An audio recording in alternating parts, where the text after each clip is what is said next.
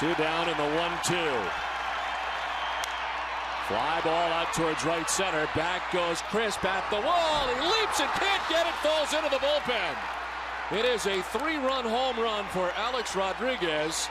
The bid on the catch by Crisp takes him into the pen, but A-Rod has gone deep for the second time tonight.